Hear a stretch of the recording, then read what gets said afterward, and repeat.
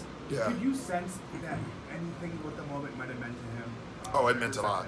It meant a lot. Like, uh, you know, again, I some players don't, just don't let you in, but I, I can tell you that ovation to him was was very heartfelt. There's no doubt about that, uh, and it meant a lot to him.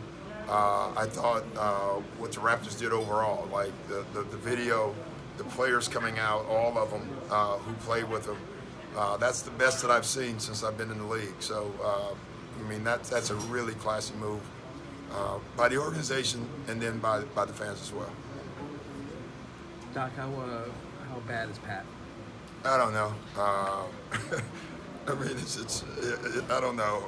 I know I called a play. That's when we knew something was up because he didn't know what was going on. So um, it was a pretty hard hit, you know. Uh, so we'll see. What you make of Kawhi's performance? I thought Kawhi was great. What I loved about him was he was patient.